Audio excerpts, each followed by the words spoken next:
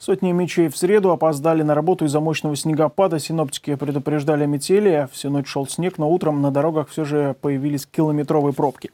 А мечи даже при таких условиях предпочитают добираться на работу на личном транспорте. Как итог, восьмибальные пробки. Больше всего времени потеряли те, кто утром поехал по красному пути. Там несколько аварий парализовали движение. Всего за утро в городе было зафиксировано больше 50 дорожно-транспортных происшествий. Совершено 4 наезда на пешеходов. Еще в одном столкновении пострадал один водитель. Заторы были на улице Герцена, Королева, Лукашевича, Конева и проспекте Карла Маркса. По данным синоптиков, за одну ночь выпала пятидневная норма осадков.